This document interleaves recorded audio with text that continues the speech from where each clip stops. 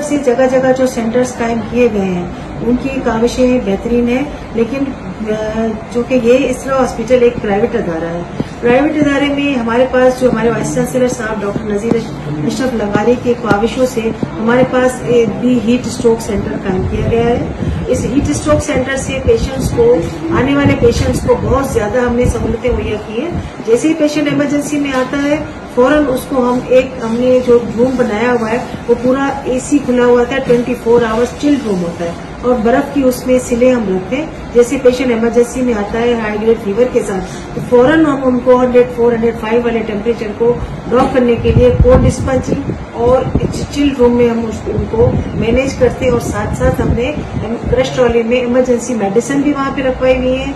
वो मेडिसिन फ़ौरन उनको आईवी फ्लूड्स ओआरएस और उसके अलावा जो लाइफ सेविंग ड्रग्स हैं, वो मुहैया की जाती है। हमारे वाइस चांसलर साहब नजीर अशरफ लगारी ने ये जो हीट स्ट्रोक का मैनेजमेंट सिस्टम करवाया है सिस्टम ये माशाल्लाह बहुत अच्छी तरह से काम कर रहा है। और यहाँ पे मुस्तकिल यहाँ पे सेंटर पे डॉक्टर नर्सेस वार्ड बॉयज़ यहाँ पे मौजूद होते हैं, जो फ़ौरन पेशेंट को डील करते हैं। शहरियों को ये अवेयरनेस देते हैं कि इन गर्मियों में आप कोशिश करके 10 बजे से लेके 5 बजे तक अगर ऑफ़िस से और घरों से कम बाहर निकले, अपने आप को गर्मी की शिद्दत से बचाएँ, ताकि फिर ये ज़्यादा इस तरह से वो हीट स्ट्रोक के लेवल तक बंदा ना पहुँचे।